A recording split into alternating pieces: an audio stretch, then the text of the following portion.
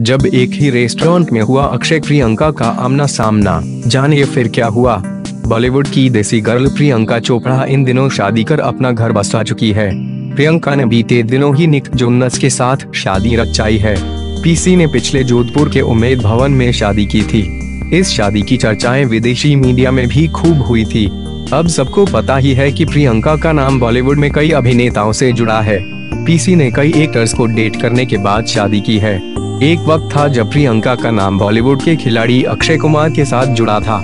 कहा जाता है कि शादीशुदा अक्षय के साथ पीसी का अफेयर शुरू हो गया था। लेकिन बाद में दोनों अलग गए थे। हाल ही में ये कपल एक साथ कैप्चर हुआ है। दरअसल मुंबई में दोनों एक ही छत के नीचे डिनर करते हुए नज़र आए थे। रिपोर्ट के मुताबिक हाल ही में मुंबई के सोहो हाउस रेस्टोरेंट में ये नज़र आए हैं। हालाँकि दोनों के बीच अंदर कैसी भी और कोई बात नहीं हुई। दोनों वुमेन्स डे के दिन यहाँ पहुँचे थे। रिपोर्ट के मुताबिक प्रियंका रात को नौ बजकर दस मिनट बजे के आसपास पहुँची थी। इसके बाद वो करीब रात साढ़े ग्यारह बजे यहाँ से निकल गई। वहीं अक्षय रात को करीब नौ दशमलव दो शून्य पर रेस्टोरेंट में वाइफ ट्विंकल खन्ना के साथ पहुँचे और फिर करीब ग्यारह बजकर पैंतालीस मिनट बजे तक अपना डिनर खत्म करके वहाँ से चले गए।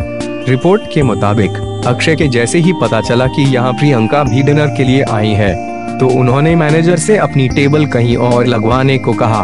वो नहीं चाहते थे कि उनकी टेबल प्रियंका की टेबल के बिल्कुल पास रहे। ऐसे में अक्षय के साथ साथ ट्विंकल भी कोई ऐसा ऑकवर्ड मोमेंट नहीं चाहती थी। बता दें कि अक्षय प्रियंका ने साथ में ऐतराज, अंदाज और वक्त जैसी फ़िल्मों में साथ काम किया है। कहा जाता है कि फ़िल्म अंदाज के दौरान दोनों का अफेयर हो गया था। नौबत अक्षय और ट्विंकल की शादी टूटने तक की आ गई थी। हालाँकि बाद में सब ठीक हो गया।